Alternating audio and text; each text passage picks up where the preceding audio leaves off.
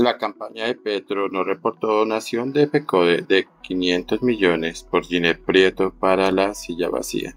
500 millones de pesos que fueron donados por la Federación Colombiana de Trabajadores de la Educación FECODE para la financiación de la campaña del presidente Gustavo Petro no aparecen reportados en las cuentas oficiales.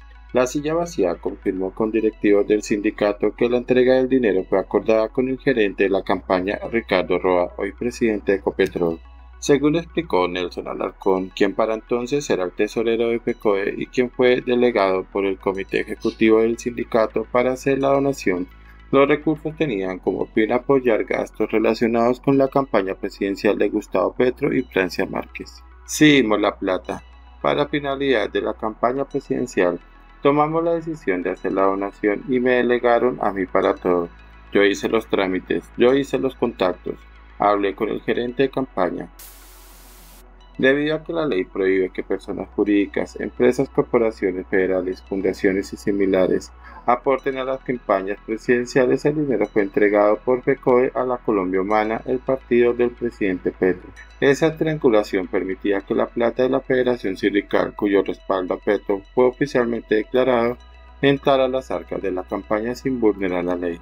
El cheque tuvo que anularse varias veces y volverlo a hacer para donar a la Colombia Humana, agregó Alarcón que la plata entró a la Colombia Humana y tenía el propósito de financiar la campaña también fue declarado por el mismo partido al CNE.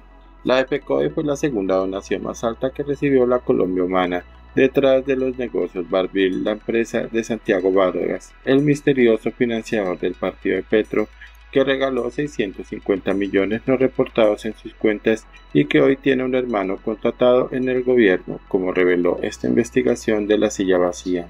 La empresa de Vargas, con varias fuentes a la silla, fue vehículo para donaciones de terceros, pero la donación de FECOE no aparece en las cuentas de la campaña de Gustavo Petro, ni en la contabilidad de primera vuelta, ni en la de segunda vuelta. Hay un registro de aportes de la Colombia Humana que debió haber transferido a la campaña de dinero donado por FECOE. De hecho, las pocas veces que el gerente de la campaña Ricardo Roa ha salido a hablar sobre la plata que financió la aspiración, se ha mantenido en que la única fuente fueron los bancos y cooperativas que le prestaron. Los recursos con los que se financió la campaña fueron adquiridos en los bancos y en las cooperativas. Casi 50 mil millones que yo gestioné de créditos en las tres fases de la campaña, en la consulta primera y segunda vuelta. De ahí es que se derivan los recursos que se registraron e ingresaron debidamente a la campaña, aseguró Roa en una entrevista a Blue Radio a inicios de agosto.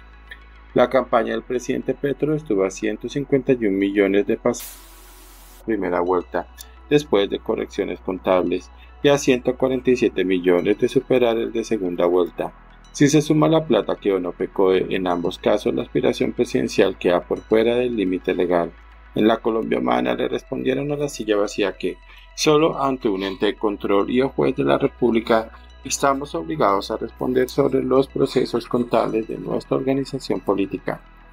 Marlon Pavón, asesor jurídico de la misión de observación electoral, ONG experta en vigilancia electoral, explicó a la silla vacía que la plata que llegó a la campaña vía la Colombia Humana debió ser reportada oficialmente en las cuentas que fueron reportadas al Consejo Nacional Electoral CNE.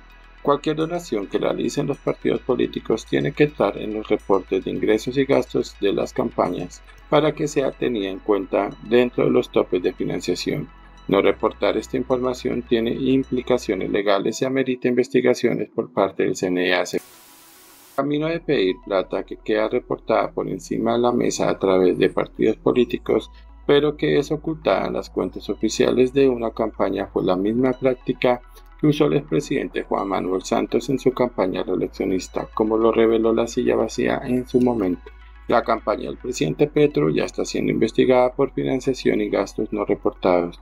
En su contabilidad no aparecen los pagos de la mega operación de testigos electorales ni de los principales estrategas de la campaña, denunciadas en dos investigaciones de la silla. Además, están bajo indagación el ingreso de recursos no reportados de contratistas que hacen parte de la matriz de colaboración de Nicolás Petro, hijo del presidente Petro, en el marco del proceso en su contra por enriquecimiento ilícito y lavado de activos. Ocultar información en los reportes y superar el límite de financiación son actos tipificados como delitos. La responsabilidad recae directamente sobre el gerente de la campaña nombrado presidente de Ecopetrol. El presidente Gustavo Petro y la vicepresidenta Francia Márquez también son corresponsables y responden solidariamente por esas faltas.